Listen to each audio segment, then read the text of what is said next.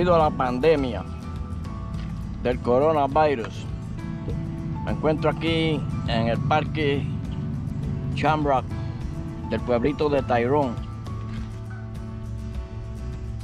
Como podemos observar, el parque está completamente vacío. Aquí los únicos que están en este parque ahora mismo soy yo y el pejo. Y hay otro señor por allá que también está con un pejo.